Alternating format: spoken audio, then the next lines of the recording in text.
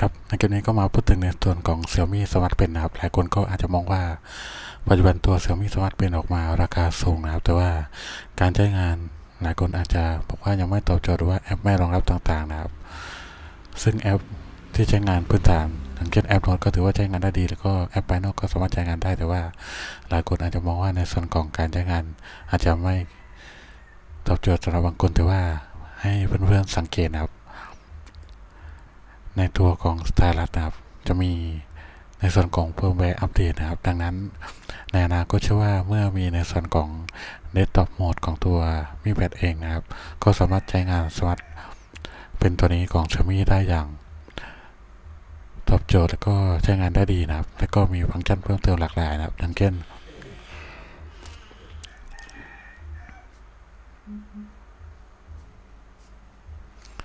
เช่นการอัปเดต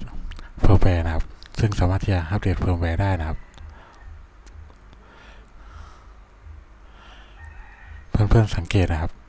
หากเรานำปากกานะครับ ไปชี้ในส่วนของอัปเดตเฟิร์มแวร์นี่ครับ เหมือนจะมีการซิงก์กันนะครับนี่ครับ หากเราไปชี้จุดอื่นนะครับ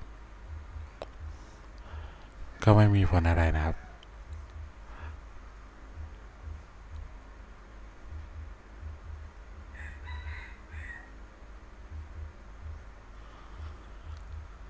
หากเราไปชี้อัปเดตเฟิร์มแวร์นะครับ เพื่อนๆสังเกตนะครับนี่ครับ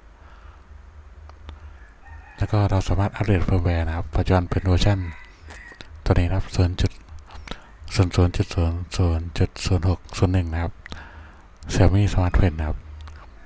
ตัวหาอัปเดตนะครับ ตัวนี้เป็นปัจจุบันแล้ว ดังนั้นในอนาคตเชื่อว่าจะมีในส่วนของการตอบสนองฟังก์ชันการใช้งานต่างๆ อีกเยอะเลยในส่วนของ การใช้งานตัวแท็บเล็ตแล้วก็ในส่วนของ Desktop Mode ครับ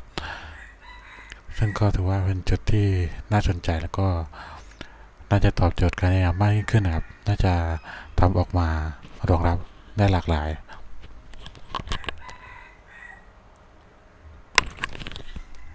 แต่จริงๆแล้วไม่อยากให้เทียบกับรุ่นอื่นนะครับเพราะว่า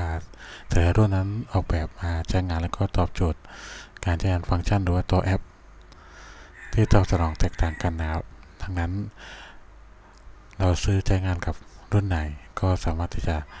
ดูแล้วก็เลือกในส่วนของรุ่นนั้น แล้วก็ไม่ควรที่จะเปรียบเทียบนะครับ แต่ว่าหากใครต้องการฟังก์ชันที่ดีขึ้นกว่าเดิมนะครับก็รอนิดหน่อยนะครับเพราะว่ามีการอัปเดตซอฟต์แวร์เหล่านี้นะครับ ก็ถือว่าน่าจะมีอะไรเด็ดๆที่น่าสนใจเพิ่มออกมาจากตัว Xiaomi Pad 5นะครับ ปัจจุบัน ยังไม่มีรุ่นโปรมาการในบ้านเราในส่วนของศูนย์นะครับ แต่ว่าหลายคนซื้อจากเครื่องจีนมาก็มีฟังก์ชันที่หลากหลายก็ตอบโจทย์การใช้งานเช่นเดียวกันนะครับ แต่ตัวนี้เป็นตัวเริ่มต้นนะครับ ก็ใช้งานได้ดีแล้วก็ตัวสมาร์ทPen ตัวนี้ก็ตอบโจทย์อยู่แล้วนะครับสำหรับบางคนการเขียนการจดต่างๆ ก็ถือว่าตอบโจทย์มากแล้วนะครับดังนั้นก็ใช้งานโดยทั่วไปก็ถือว่าคุ้มค่าแล้วก็ โอเค แต่ว่าใครรออัปเดตฟังก์ชันใหม่ๆนะครับ หรือว่าการใช้งานที่เสถียรมากกว่าเดิมนะครับ ก็ลองดูในส่วนของอัปเดตเฟิร์มแวร์นะครับ เข้ามาเช็คบ่อยนะครับ อาจจะมีอัปเดตมาให้เราใช้งานแล้วก็มีฟังก์ชันสำหรับปุ่มกดต่างๆ ในแอปต่างๆ มากยิ่งขึ้นนะครับ ซึ่งปัจจุบันตัวนี้ อาจจะรองรับหลายแอปแต่ว่าเราไม่ได้ทดลองใช้งานนะครับ ดังนั้น แนะนำว่าใครใช้อ่านกับแอปไหนแล้วก็ใช้ฟังก์ชันปุ่มกดหรือว่าฟังก์ชันต่างๆของตัวสมาร์ทเป็นตัวนี้นะครับก็ลองดูนะครับเพราะว่าจะตอบโจทย์แล้วก็น่าใช้งานมากยิ่งขึ้นนะครับ